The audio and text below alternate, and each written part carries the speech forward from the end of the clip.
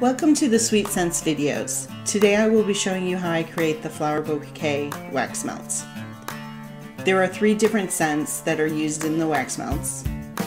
The roses and tulips have a tulip scent. This scent for me had notes of light rose scent.